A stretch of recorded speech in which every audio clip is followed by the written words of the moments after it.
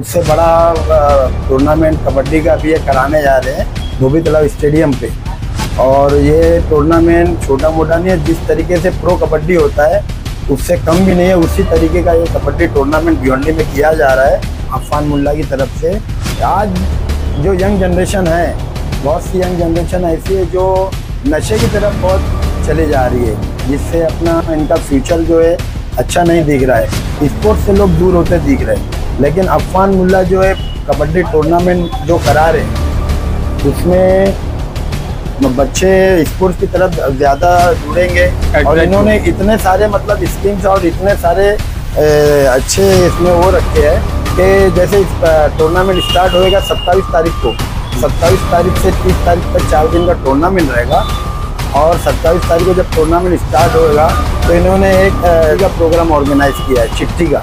जो चिट्ठी मतलब ऑडियंस में फेंकी जाएगी, जिसका भी नाम मैच होएगा, उसको फाइव थाउज़ेंड कैश का प्राइज इन्होंने ऑर्गेनाइज किया है, जो उस बंदे को मिलेगा जिसका भी नाम मैच होएगा। तो कबड्डी टूर्नामेंट जो है भिवंडी में बहुत, हमेशा से बहुत ज़्यादा सक्सेस रहा है और बहुत ज़्यादा स्पोर्ट्स में कबड्डी को चाहने वाले लोग बहुत ज़्यादा भिवंडी में। और यही सब देखते हुए अफान मुल्ला ने कबड्डी का टूर्नामेंट रखा है और बहुत ही अच्छे पैमाने पे रखा है।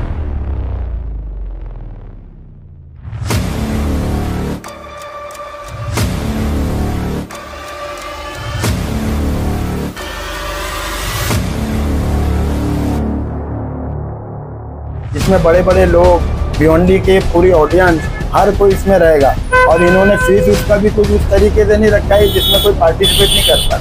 बहुत ही अच्छा इन्होंने टूर्नामेंट रखा है और ये बहुत सक्सेसफुल टूर्नामेंट रहेगा इनशाला और हम दुआ करते हैं कि अफमान मुल्ला जैसे लोग इस तरीके से आगे बढ़े स्पोर्ट्स फ़ील्ड में और स्पोर्ट्स को आगे बढ़ाने में। हमेशा से आगे रहे सपोर्ट में हम सब लोग हमेशा खड़े। फ़र्स्ट प्राइस तो मेरे ख्याल से ट्वेंटी थाउज़ेंड है और सेकंड प्राइस टेन थाउज़ेंड है। और पूरा लाइव टूर्नामेंट होएगा यूट्यूब पे भी लाइव दिखेगा और आप जैसे लोग के माध्यम से ये लाइव दिखाया जाएगा, आपके चैनल जैसे माध्यम से।